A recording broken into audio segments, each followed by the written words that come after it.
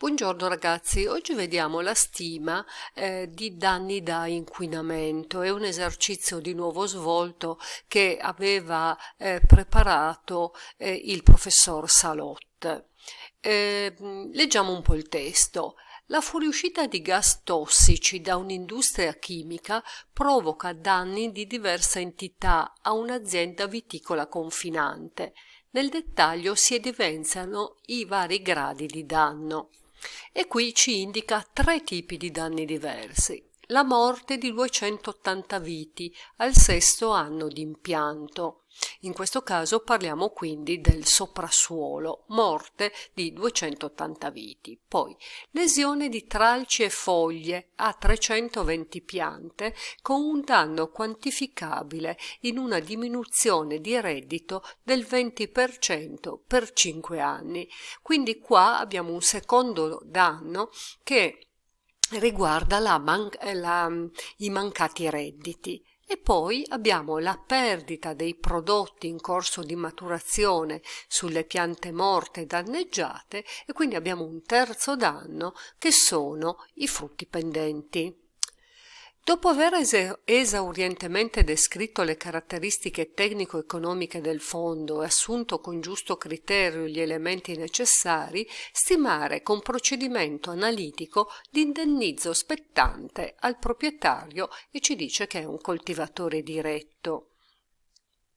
Allora, qui abbiamo l'interpretazione del testo. Dalla lettura del testo spara chiara la natura del quesito estimativo. Si deve eh, stimare l'indennità spettante al proprietario coltivatore diretto di un vigneto danneggiato dagli scarichi di un'industria chimica e quindi viene eseguita la stima secondo questi punti, questo schema. Naturalmente ci sarà la premessa la descrizione del fondo, dove descriviamo sia il capitale agrario che il capitale fondiario, e poi la determinazione del soprassuolo del vigneto. Questo perché? Perché abbiamo detto che il, i danni consistono in questi tre tipi di danni e quindi per la stima del valore del soprassuolo, la stima delle 280 viti, noi dobbiamo andare appunto a stimare il valore valore del soprassuolo che è dato dal valore intermedio al sesto anno meno il valore della terra nuda. E chiaramente per fare questo dovremo andare a fare un'analisi dei redditi, quindi dei prodotti, lavorando sempre a ettaro, de, quindi della PLV, poi facciamo un'analisi eh, dei costi nei vari anni del ciclo, troveremo, facciamo il grafico, troviamo il saggio di capitalizzazione fondiaria e poi determiniamo il valore della terra nuda e il valore del vigneto a sei anni con il metodo dei redditi passati. Dopodiché riusciremo a determinare il valore delle piante al sesto anno.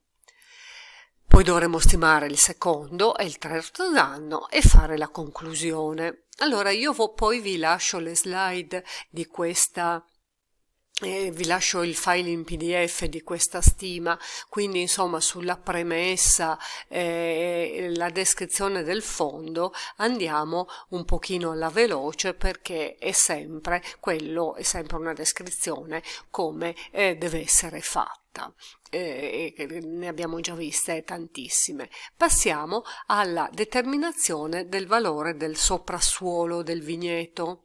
Ok? Allora iniziamo dalla PLV, di nuovo di, eh, di, di, dividiamo il ciclo produttivo in tre eh, fasi terzo e quarto anno la fase di giovinezza, 5 26esimo maturità, 27 30 vecchiaia. Diciamo abbiamo detto che per un vigneto eh, un ciclo plausibile è di 30 anni. Vedete che qui mette la produzione a ettaro, il prezzo ehm, in tonnellate, eh, euro tonnellata e quindi la PLV totale qui fa la media ponderata, quindi 6.400 per due anni, 8.826 meno 4 4 fa 22 anni e 7200 dal, dal 27 al 30 anno, quindi 30 meno 26 che fa 4, diviso i 30 anni di ciclo e quindi abbiamo una PLV media annua di 7840 euro. Passa poi al calcolo dei eh, costi dei vari anni del ciclo.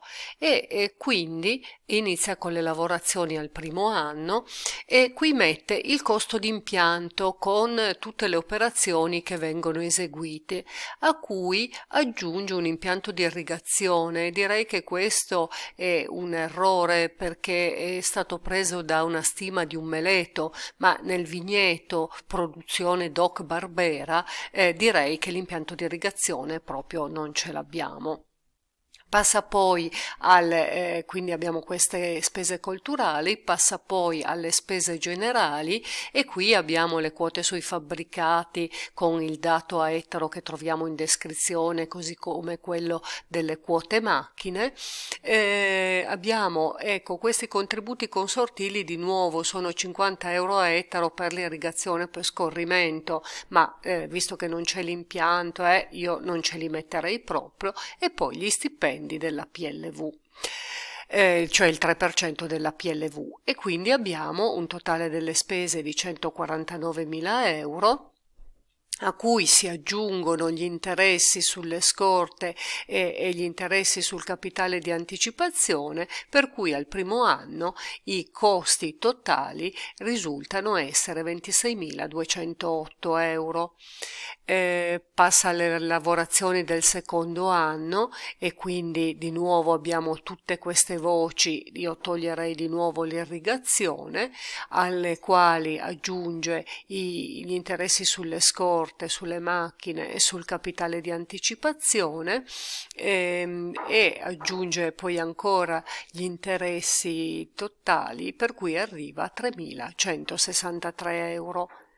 Calcola poi ancora i lavori in piena produzione con tutte le operazioni che vengono fatte eh, in questo caso mi sembra che non ci sia l'irrigazione, se ci fosse non va messa di nuovo e eh, aggiunge chiaramente i costi sugli interessi e eh, cioè gli interessi come costi e ottiene delle spese dal terzo anno di 5.724 euro.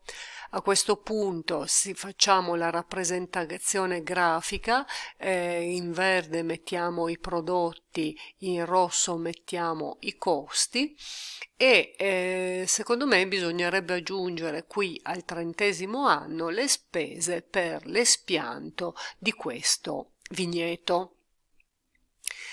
Passiamo chiaramente, poi dovremo capitalizzare, quindi dobbiamo determinare il saggio di capitalizzazione scrivendo sempre la solita frase, no? E, e dal rapporto sommatoria dei BF fratto sommatoria dei valori abbiamo ottenuto un saggio di capitalizzazione del eh, 2,5%.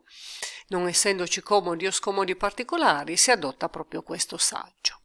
A questo punto, utilizzando questo grafico, andiamo a fare la sommatoria da 0, attenzione qui è 30 perché il ciclo è di 30 anni, da 0 a 30 dei prodotti, portando quindi tutti i prodotti sul trentesimo anno e otteniamo 360.591 euro a ettaro, facciamo la stessa cosa sulle spese, sempre sui 30 anni, e otteniamo 314.734 euro, per cui il beneficio fondiario dell'intero ciclo di 30 anni è di 45.857 euro, che viene capitalizzato con la formula di capitalizzazione di periodicità e otteniamo un valore della terra nuda a ettaro di 41.781 euro. Eh, a questo punto passiamo alla determinazione del valore intermedio del vigneto, non è un meleto, vigneto di 6 anni, col procedimento dei redditi passati, visto che siamo più vicini all'impianto. Allora vi ricordo eh, la, la formula che è questa qua, e quindi il valore al sesto anno sarà il valore della terra nuda portato al sesto anno, più le spese passate passate, cioè da 0,6, meno i prodotti passati da 0,6 e ehm, viene eh, 76.922 euro a ettaro. A questo punto possiamo determinare il valore del soprassuolo perché abbiamo il valore intermedio meno il valore della terra nuda e quindi sappiamo che a ettaro le piante valgono 35.141 euro. In base al sesto d'impianto sappiamo che in un ettaro ci sono 4.000 piante e quindi il valore di ogni pianta sarà dato dal valore di soprassuolo ettaro diviso 4.000. Eh? Questo è il valore di una pianta. Le piante morte sono 280, quindi il primo danno del danno del soprassuolo sarà il valore di una pianta per 280 piante pari a 2460 euro. Poi passiamo alla stima del minor reddito delle 320 piante parzialmente danneggiate. Allora, siamo al sesto anno, quindi sappiamo che il, eh, la PLV è di 8.800 euro e che i costi sono di 5.726 euro. Eh, vuol dire che praticamente il BF è di eh, 3.076 euro e questo BF ci è dato da 4.000 piante, quindi il valore reddito medio per pianta è 0,769. Mm? Le piante danneggiate sono 320, quindi il reddito di 320 piante, se non ci fosse stato il danno, sarebbe stato il reddito di una pianta per 320, quindi 246 euro. La riduzione del reddito, ci dice il testo, è del 20% e quindi eh, ho una riduzione di 49 euro a ettaro e questi mancati redditi li avrò per 5 anni, quindi faccio l'accumulazione iniziale di, eh, dei mancato reddito di un anno per 5 anni, pari a 224 euro, 40. Passiamo poi alla stima dei prodotti in corso di maturazione. Il professor Salot ehm, prevede che il danno, eh, assume che il danno sia stato arrecato in eh, il primo di eh, luglio e quindi effettua la stima dei frutti pendenti poiché sono già visibili grappoli la stima dei frutti pendenti bisogna risolvere chiaramente questa formula qua. Quindi i, prodotti al momento della maturazione meno le spese ancora da sostenere meno gli interessi sui capitali investiti tutti portati al momento M cioè al primo di luglio. E quindi calcola i prodotti eh, vengono effettivamente 8.800 euro come avevamo già detto nella stima, calcola tutte le spese che devono essere eseguite eh, entro la raccolta e eh, poi vedete che fa prodotti meno spese meno V per RC per T. V è praticamente il eh, valore della terra nuda per il saggio di capitalizzazione per 75 giorni perché dal 1 luglio al 15 settembre sono 75 giorni, tutto portato al momento M, cioè al 1 luglio, cioè portato indietro dietro di 75 giorni.